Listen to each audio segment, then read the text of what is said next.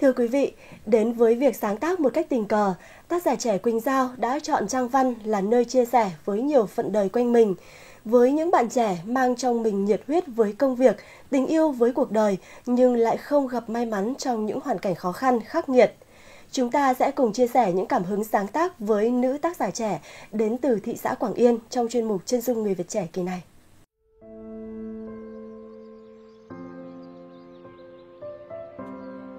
Mình ờ, đến với văn chương như một sự tình cờ nhưng mà cũng đầy duyên nợ mà mình bắt đầu viết từ năm 2012 à, khi đó tình cờ tham gia một cái cuộc thi do các bạn trẻ yêu văn học à, mở ra trên mạng. Với lúc đó là mình à, viết à, chuyện ngắn đầu tiên đấy là chuyện ngắn gió thổi dọc cánh đồng. Cũng được à, sự phản hồi tích cực của các bạn viết. Sau đó thì mình nhớ là chuyện ngắn được lọt vào top 10 trong cái cuộc thi hôm đó và sau này thì được nhà văn à, Dương Hướng giới thiệu ờ, trên báo Quảng Ninh cuối tuần và báo Văn nghệ Hạ Long. Và sau đó thì được Đài Tiếng Nói Việt Nam đọc trong chương trình đọc truyện đêm khuya. Và đó là cái động lực uh, giúp mình đến với văn chương. Đến với văn chương là cách mà để mình tiếp cận được với đông đảo uh, mọi người cũng như là các bạn trẻ mà mình đặc biệt quan tâm. Uh, để cùng chia sẻ uh, cũng như là đồng cảm với những cái thân phận đời mà ở ngoài thì mình uh, không có cơ hội được uh, uh, giúp đỡ và chia sẻ cùng với họ. Sáng sớm tôi theo ngoại ra đồng.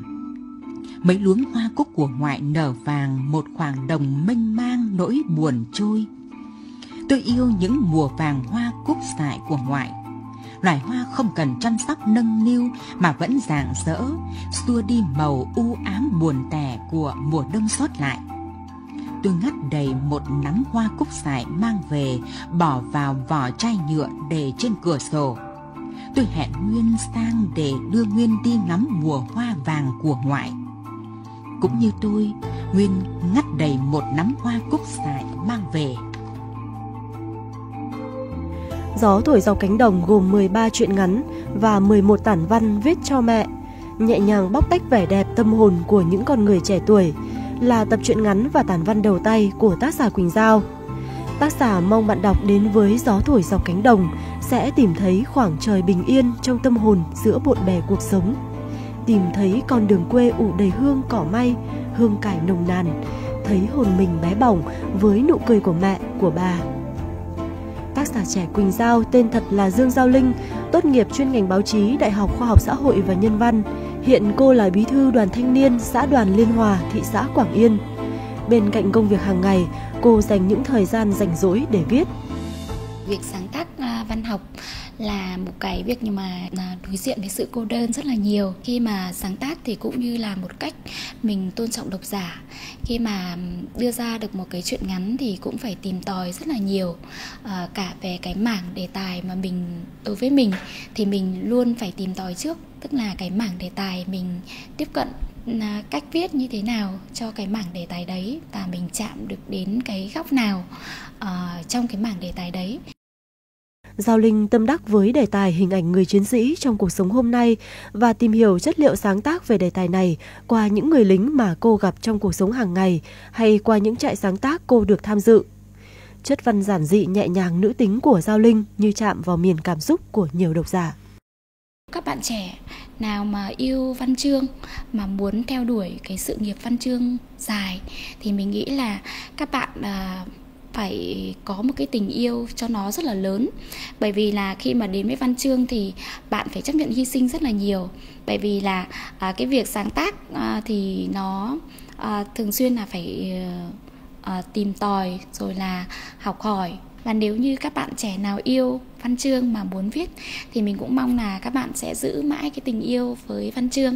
Bởi vì mình nghĩ là à, khi mà à, mình yêu một cái gì đó thì mình sẽ biết cách để tiếp cận với nó và sẽ đi được với nó.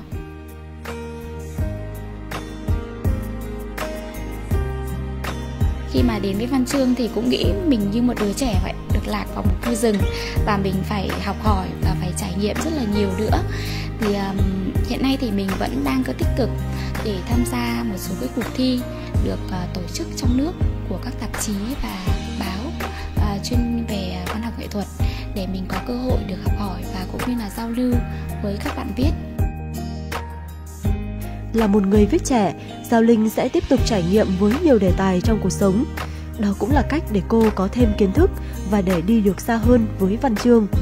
Cô sẽ tập trung viết nhiều về những mảng đề tài gần gũi với cuộc sống như một cách để nhập cuộc và phát triển cùng văn học Quảng Ninh.